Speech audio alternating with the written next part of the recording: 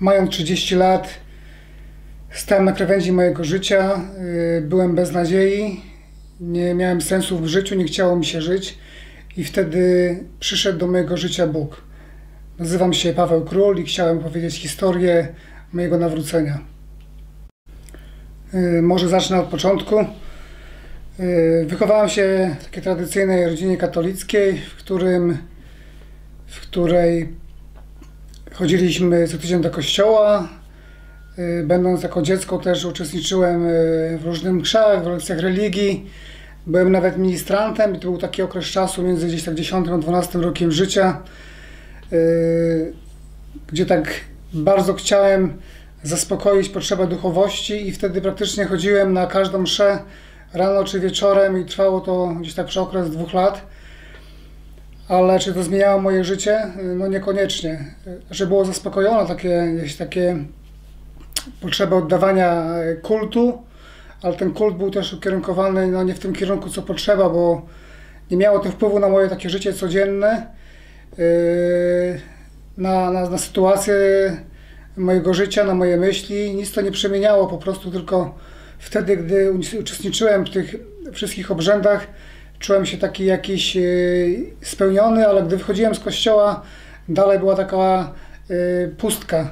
Pamiętam, mając 12 lat, e, dostałem jako ministrant cztery Ewangelie i zacząłem sobie je czytać i wtedy stanąłem na początku Ewangelii Jana i, i, i nie rozumiałem tych słów, nie rozumiałem o co tam wszystkim tym chodzi. I to y, ta książka wtedy dla mnie, ta księga y, wędrowała na półkę. Y, i zastanawiałem się w ogóle po co, po co, po co żyć, i jak rozmawiać można w ogóle z Bogiem, jak można do Niego dotrzeć. I, nie miałem na to odpowiedzi. Patrząc się na moją rodzinę, na moich sąsiadów, na otaczający mnie świat, yy, zauważyłem jako taki młody człowiek hipokryzję, że ludzie chodzą do kościoła, że spowiadają się, modlą się, ja zresztą też tak robiłem, a nic to nie zmienia w ich życiu, yy, że było pełno dookoła przemocy, alkoholu, kłamstwa, obłudy, yy, bluźnierstw, hipokryzji takiej i, i nie dawało mi to spokoju. I mając tak 15 lat, zdecydowałem, że opuszczę kościół. Jeszcze gdzieś tam może dla mojej mamy, y, zwłaszcza może dla niej, bo ona była bardzo taką y, praktykującą katoliczką. Od czasu do czasu już chodziłem do kościoła, żeby po prostu jej nie zasmucać, ale moje serce już nie należało do tamtego miejsca. I mając właśnie tak 16 lat, 15, zacząłem szukać własnej drogi. Mając 16 lat, będąc w szkole średniej, Zacząłem o dziwo czytać Biblię, ale nie tylko dlatego, że szukałem Boga, ale dlatego, żeby chodząc na lekcje religii, zabijać księdzu Klina. I tak wertując Nowy Testament, Stary Testament, y, szukałem takich fragmentów, które by zaprzeczały nauce Kościoła katolickiego.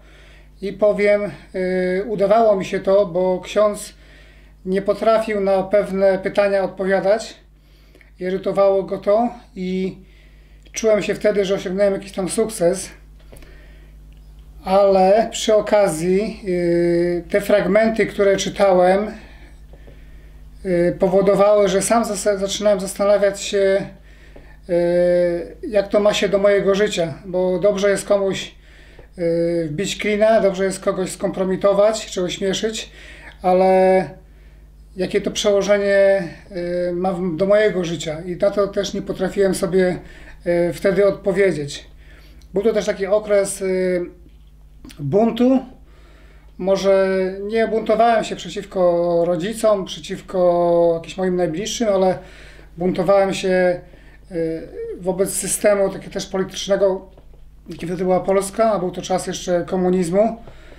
Yy, taką alternatywą dla mnie, dla, dla tej takiej szarości dnia codziennego było to, że związałem się z subkulturami młodzieżowymi, takimi jak e, punki, jak e, hipisi, e, grupy też anarchistyczne później i dawało mi to takie poczucie wolności, odmienności, że dawało mi to też takie spełnienie, dawało mi też taką radość, że coś robię. Też jakiś tam miałem taki okres, taki epizod, że gdzie związany byłem yy, z grupami solidarnościowymi, gdy wtedy była wiadomo opozycja polityczna i to tak wiązało też się z moim tym anarchizmem, że walczyłem yy, przeciwko komuś, miałem takiego realnego wroga.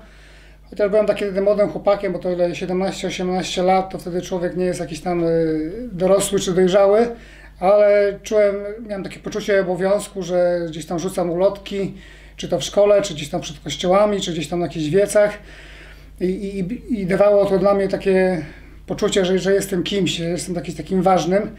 Choć yy, wracając do domu wcale to yy, nie sprawiało, że, że czułem się jakoś tak lepiej, że, że czułem się jakoś taki yy, spełniony. Nastoletni wiek to jest taki też wiek, w którym człowiek próbuje rzeczy zakazanych. I też było tak ze mną, wcale nie byłem jakiś taki inny. Próbowałem e, alkoholu, próbowałem nikotyny i powiem tak od 16 roku życia, może tak w sumie e, jedno i drugie zaczęło mnie zniewalać, tak powoli, powoli, powoli, aż trwało to kilkanaście lat. Człowiek czasami myśli, że tylko sobie spróbuje, tylko pokosztuje i nic nie będzie się działo. Będę nad tym panować. Są tacy ludzie, owszem, którzy nad tym panują i którzy po prostu spróbują, powiedzą nie, to nie jest dla mnie, ale tak nie było w moim przypadku. Yy, od razu spodobało mi się upijanie, od razu spodobało mi się papierosy, nie, nie miałem żadnych skutków ubocznych, poza tym, że fajnie wirwało się w głowie, że człowiek stał się inny. Byłem y, człowiekiem nieśmiałym i też alkohol y, powodował to, że po prostu mój język się rozwiązywał, że potrafiłem wtedy nawiązywać kontakty z innymi ludźmi. Y, chciałem być taką duszą towarzystwa. Miałem mocną głowę i, i, i też to szczyciłem się tym bardzo. Ale po pewnym czasie sam stwierdziłem, że ja po prostu nie potrafię się cieszyć, jeżeli czegoś tam nie zażyję. I to było takie yy, dla mnie zasmucające. Jeżeli nie było alkoholu, jeżeli było nie papierosów, to ja po prostu wariowałem. Wtedy zamykałem też się yy, w świat muzyki, yy, brałem słuchawki na uszy, czy słuchałem bardzo głośnej i agresywnej też muzyki. Jeździłem na dużo koncertów, jeździłem i odwiedzałem wiele osób, i, ale wiadomo, zawsze kończyło się jednym, że urywał mi się film. Nie potrafiłem nawet się upić, tak tylko, żeby tylko się upić, ale musiał mi się zawsze urwać film i straciłem nad tym kontrolę. Mając 20 y, lat już nie potrafiłem po prostu y, nad tym panować. Gdy człowiek ma jakiś tam swój nauk, a jest młody, nie ma też y, pieniędzy na to, aby zakupić jakiś browarek czy jakiś tam papierosek, musi wtedy kombinować. No ja też kombinowałem. Y, regularnie podbierałem moim rodzicom pieniądze, wtedy nazywałem to podbieraniem, ale tak naprawdę to kradłem. Y, też z kolegami często wyłudzaliśmy pieniądze od różnych ludzi. Byłem, mieszkałem w takiej miejscowości uzdrowiskowej, gdzie było dużo różnych turystów, różnych wycieczek i po prostu żeśmy albo po prośbie, albo po groźbie wyłudzali pieniądze i, i, i po prostu to było coś takiego, że no, robiliśmy sobie fajne jaja, ale tak naprawdę krzywdziliśmy wielu, wielu ludzi. Był też taki okres czasu, że za pieniądze, czy nawet za szynkę jakiegoś wina potrafiliśmy kogoś pobić, czy coś komuś wyrządzić krzywdę jakąś taką materialną. I w tamtym czasie, gdyby milicja jeszcze była, gdyby mnie wtedy złapała, to na pewno miałbym jakiś tam paragraf na 100%. Ale wierzę, że Bóg się wtedy o mnie też wtedy już zaczął troszczyć. Po tych wszystkich takich różnych ekscesach, y, zawsze budząc się, y, mając głęboko kasa, mówiłem, kaca, mówiłem nigdy więcej. I to był też taki okres czasu, gdy wołałem Boże, ja tak nie chcę, chcę Ciebie poznać i powiem, ja już nigdy tego nie będę robić. I było, potrafiłem czasami tydzień, dwa tygodnie Yy, nie pić. Potrafiłem gdzieś tam się odsunąć od tego towarzystwa, ale jednak to mnie ciągnęło dalej. Y, ta pustka, taka gdzieś taka wewnętrzna, ona nie była zaspokojona i, i, i szukałem jakiejś tam emocji, szukałem gdzieś jakiejś yy, radości, yy, może też jakiejś rozrywki, czegoś, czegoś, czegoś, żeby, żeby po prostu mnie tak pobudziło do życia, żeby, żeby, żebym był szczęśliwszy. I, i, i wracałem do tego mojego towarzystwa. Powiem, że yy, to byli bardzo młodzi i bardzo wrażliwi ludzie. Często dyskutowaliśmy na różne tematy, też o Bogu, y, o przyszłości, o polityce. Byli też ludzie, którzy gdzieś tam tworzyli z pasją jakąś muzykę, pisali wiersze. Także nie mogę powiedzieć, że to była jakaś taka patologia, po prostu szukaliśmy jakby swojej drogi. Y, też wtedy zacząłem interesować się y, różnymi religiami. Czytałem sobie o buddyzmie, o gdzieś tam Hari Krishna, o, o, o, o różnych opcjach chrześcijańskich, świadkowie Jehowi, gdzieś tam zielonoświątkowcach. Gdzieś tam szukałem, ale, ale, ale po prostu yy, nie, nie potrafiłem doświadczyć dalej. I, I Boga traktowałem, że jest to jakiś taki absolut, który stworzył ten świat, jakaś taka wielka myśl.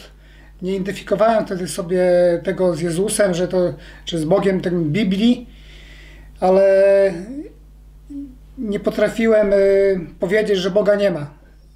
Widziałem, że jest ktoś, no ktoś nad tym to panuje, ale ten ktoś y, był dla mnie tak bardzo odległy i może też to z naleciałości gdzieś tam z katolicyzmu, zawsze, zawsze tego Boga definiowałem, że jest coś to taki groźny, który tylko czeka, żeby mnie przywalić. I pamiętam, yy, czytałem sobie tam Stary Testament i zobaczyłem yy, takie fragmenty, że gdy będziesz czynił to, to i to, będziesz błogosławiony, a gdy będziesz czynił to, to i to, będziesz po prostu yy, żył pod przekleństwem. I tak yy, konfrontując to z moim życiem, stwierdziłem, że ja po prostu yy, będę potępiony, że, że Bóg mnie nie, nie kocha, że, że, że wszystkie to moje uczynki, a było ich coraz więcej złych, one sprawiają, że Bóg jest daleko ode mnie. Znam takiego Boga. Tak po prostu przedstawiono mi takiego Boga, który, do którego jest bardzo trudny dostęp. I powiedziałem sobie, to ja nie chcę znać takiego Boga. To ja nie chcę znać takiego Boga. I żyłem sobie po swojemu. Po prostu gdzieś yy, modliłem się, mówiłem do Boga, ale to był taki mój Bóg. Ten taki, który który przychodził do mnie, wierzę, że on przychodził do mnie, że to był wtedy Jezus.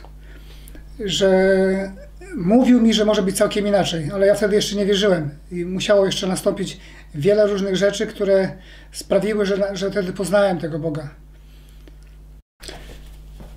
W roku 90 lub 91 pamiętam, y, jeździłem z kolegami sobie po Polsce jak, jak zwykle co roku. I pamiętam całkiem przypadkowo y, wpadliśmy do Częstochowy. Tam akurat były jakieś tam pielgrzymki, jakieś tam było święto. I spotkaliśmy takich hipisów, punków i, i pytaliśmy się, gdzie to można się jakieś rozbić z jakimś namiotem, choć nie mieliśmy namiotu. Y, zawsześmy waletowali oni powiedzieli, że tam na takiej górze jest, jest, jest pole namiotowe i, no i poszliśmy razem sobie z nimi i okazało się, że był taki tam ksiądz Szpak i on był takim y, księdzem y, od hipisów, nie wiem czy tak wtedy go nazywano.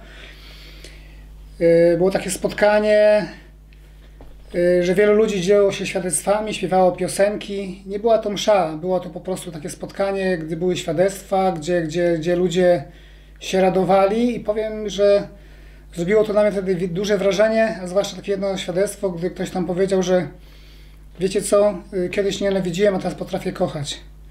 Że potrafię kochać swoich wrogów, że, że, że, że potrafię przebaczać i to było taki, takie coś, co do dzisiejszego dnia to pamiętam. Ale no myśmy tam przyjechali w innych po prostu celu, żeby jakieś tam poderwać dziewczyny, y, gdzieś może się zabawić, no ale to nie było akurat to miejsce. Y, potem kilka dni później trafiliśmy na festiwal artystów chrześcijan. Nie było to przypadkowo, dlatego że lubiliśmy muzykę. Lubiłem, lubiłem i Dary, lubię bardzo dobrą muzykę. Był wtedy jeszcze nieżyjący, śpiewał Czesław Niemen, różne chóry gospel, różne zespoły też bluesowe, ale jedno przesłanie było to, że śpiewali oni o, yy, o Jezusie, o Bogu. Yy, pojechaliśmy wtedy, żeby też tam po prostu zobaczyć tych artystów. Tak na marginesie powiem, że byliśmy wtedy tam trzy dni i nikt z ludzi, chociaż wiem, że wtedy był ewangelicznie wierzący, nikt nie zostawał nam Ewangelii. Nikt nas w kuluarach, czy na korytarzach, czy wcześniej, czy później nie zaczepił, nie, nie spytał się, po co tu jesteście, dlaczego tu jesteście. Yy, udało nam się gdzieś tam załatwić yy, jakieś tam darmowe wejściówki. Yy, spaliśmy sobie gdzieś tam na dworcu. Ale jedno pamiętam, że dostałem wtedy taką koszulkę, którą mam do dzisiaj, na której pisało Przetoż, jeśli was Syn wyswobodzi, prawdziwie wolnymi będziecie. I ta koszulka, powiem, że jest do dzisiaj dla mnie bardzo cenna, bo te słowa, które tam były zapisane, to są dla mnie takie yy, złote, złote myśli dla mnie, złota myśl dla mnie, złote słowa dla mnie, słowa życia dla mnie. A dlaczego? Wtedy będąc anarchistą, będąc człowiekiem, który czuł się, że jest wolny, choć wcale tak nie było, bo byłem zniewolony wieloma rzeczami. Wydawało mi się, że, ale ja myślałem, że jestem wolnym człowiekiem, że wszystko mi wolno. Y, rób ta, co chce, ta y, piekła nie ma. Nie dawały mi spokoju, te słowa nie dawały mi spokoju. Jezus powiedział, że jeśli was Syn wyswobodzi, prawdziwie wolnymi będziecie. Tak pomyślałem sobie, z czego ty masz mi wyswobadzać? Przecież ja jestem wolny. Przecież ja jestem wolny. Ale minęło od tego czasu potem 10 lat. I gdy moje życie po drodze się skomplikowało, bo w międzyczasie też y, ożeniłem się, moje małżeństwo trwało y, kilka lat i powiem, że przez, dużo przez moje nałogi, też jakieś tam y, wiele, wiele okoliczności stało się tak, że, że ono rozpadło się bardzo szybko i dla mnie to był taki wielki cios, bo wierzyłem wtedy, że to takie mając y, rodzinę, mając dzieci, będę taki spełniony, ale po prostu człowiek, który ma pustkę w sobie, który nie jest, nie, nie jest poukładany, nie potrafi się w tym znaleźć. Dalej byłem takim małym chłopcem. Teraz się przyznaję, że byłem takim małym, niedojrzałym chłopcem i to wszystko było za wcześnie i, i, i, i dlatego skończyło się jak się skończyło. Ale dla mnie to było też takim wielkim ciosem, y, że skończyło się dla mnie życie, że nie mam nadziei, że wszystko co dobre już się skończyło i to był taki okres najgorszy w moim życiu, gdzie przez 3 lata praktycznie w dzień dzień się upijałem, były też potem jakieś takie i, i, i słabe narkotyki. Yy, robiłem wtedy wiele głupstw, po prostu nie potrafiłem yy, siebie zabić, bo chciałem, po prostu chciałem popełnić samobójstwo, ale nie potrafiłem, czy podciąć sobie żył, czy się otruć, nie potrafiłem. Yy, stwierdziłem wtedy, że zapiję się na śmierć. Po prostu będę tak klał, że zniszczę swój organizm. I, I, rzeczywiście, chlałem wtedy bardzo dużo, ale w tym wszystkim była ręka Boża. Była ręka Boża. Nie, nie, nie, nie. On cały czas był przy mnie, chociaż wtedy jeszcze nie wiedziałem o tym. I stało się tak, że któregoś dnia upadłem przed na kolana i zacząłem wołać do Boga. Ale zanim zacząłem wołać do Boga, yy, muszę jeszcze powiedzieć, że często na mojej, yy, na moim stole był alkohol i była też Biblia. Yy, nie wiem dlaczego, ale, ale wtedy miałem taki głód poznawania Boga.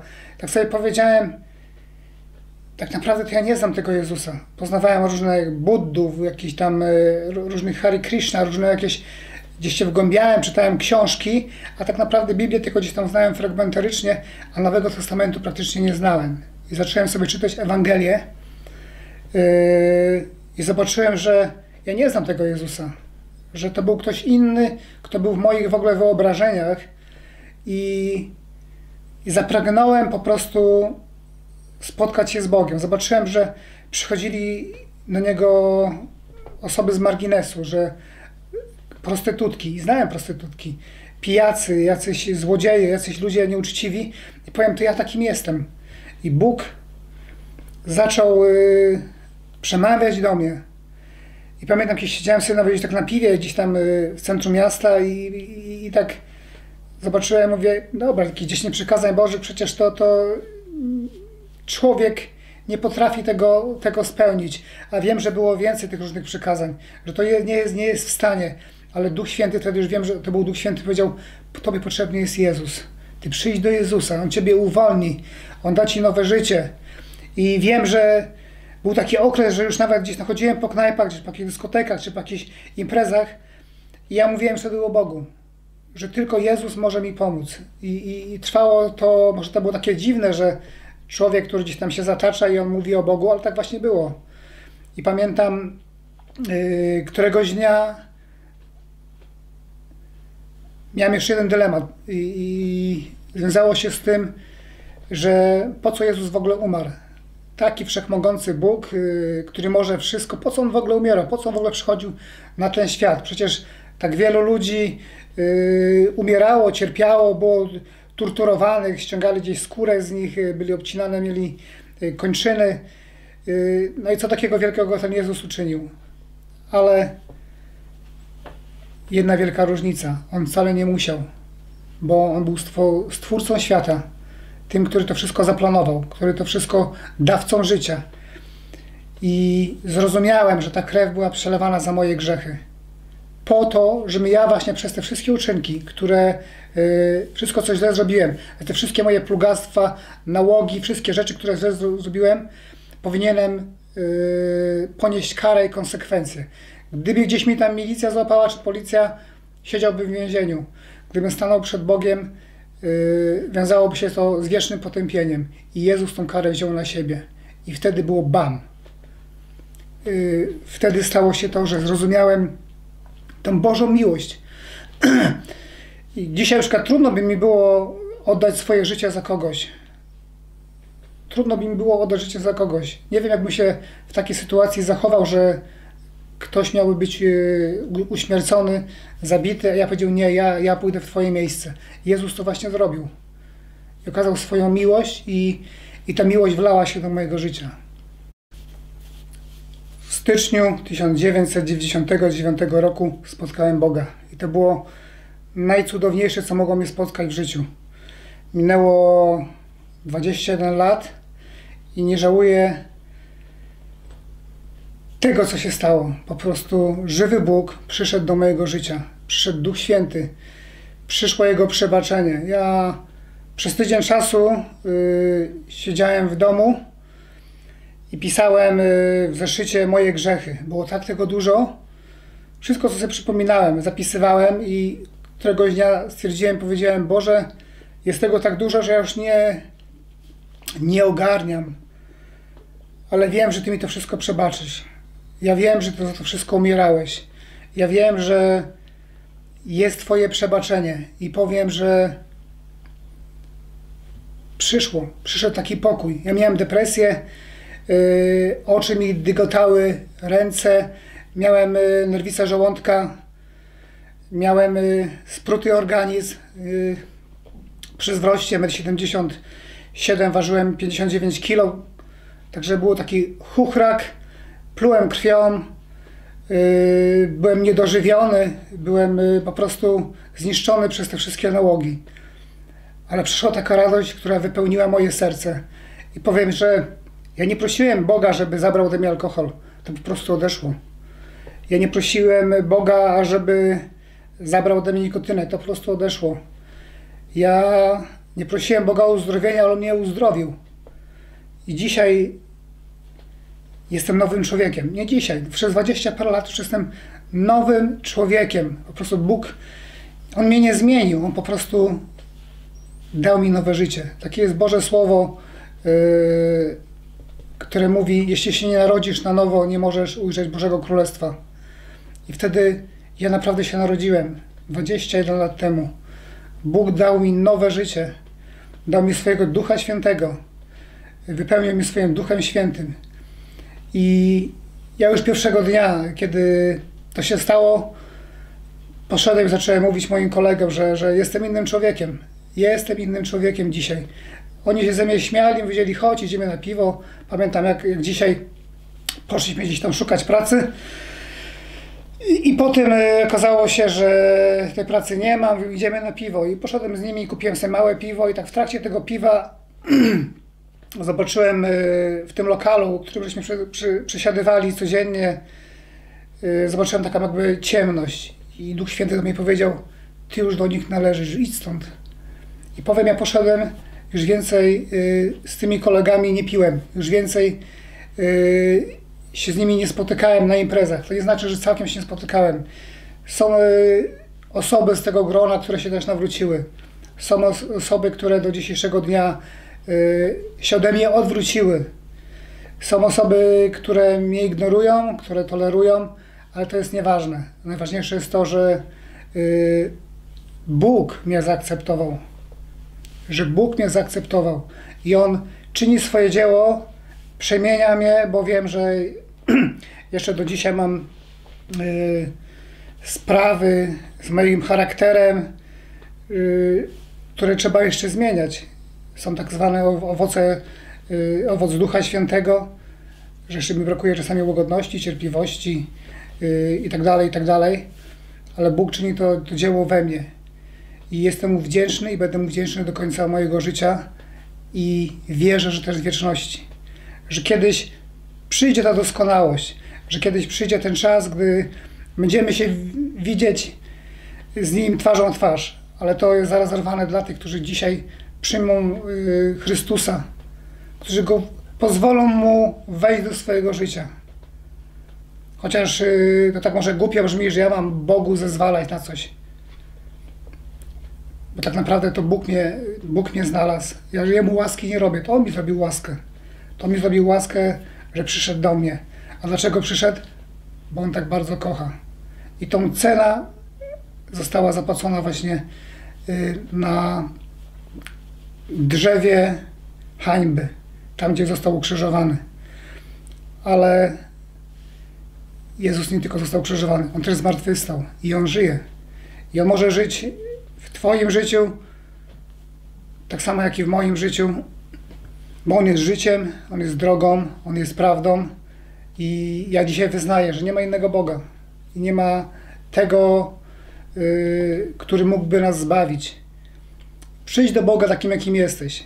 Przyjdź z tym wszystkim brudem. To nie znaczy, że masz żyć tak jak doczyszczasz i Bóg Cię będzie tolerował. Nie. Przyjdź z tym brudem, On Ciebie oczyści. On Ciebie zmieni. Przyjdź do światłości.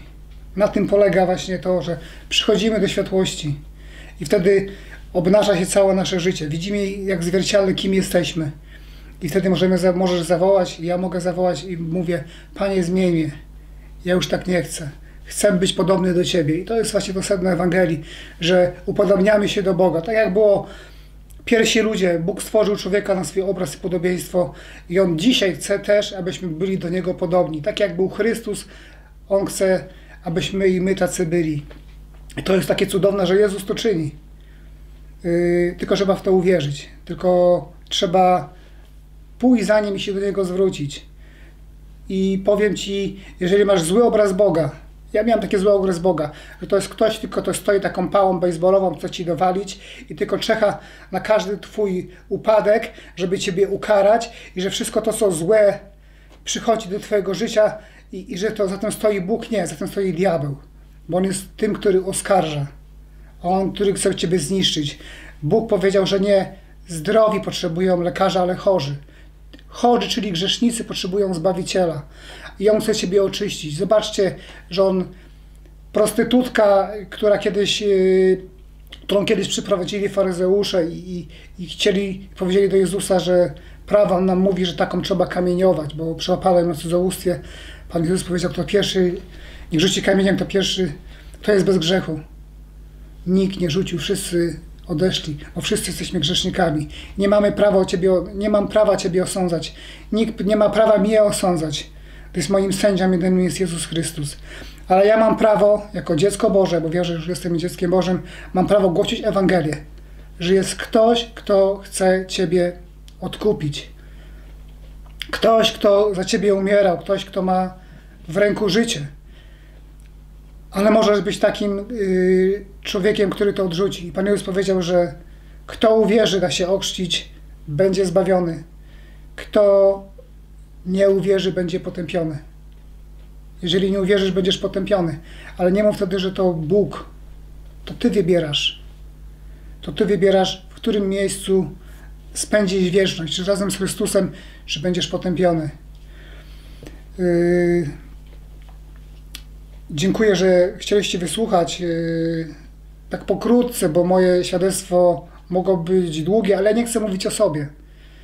Yy, nigdy nie, zastanawiałem się już tak dawno, czy nagrać to świadectwo, dlatego że świadectwo dużo mówi o człowieku, ale ja chcę mówić o Bogu. O tym, yy, w którym się zakochałem i o tym, który, który jest godzien tylko czci. Ja z siebie nic nie zrobiłem i dalej nic z siebie nie robię, to tylko Bóg może. Także błogosławię Ciebie yy, i, i życzę Ci, żebyś też poznał Boga, a Ty, który już wierzysz, żebyś był utwierdzony w tej miłości, żebyś nigdy się nie poddawał, żebyś do końca yy, swoich dni wierzył, wierzył w Jezusa Chrystusa.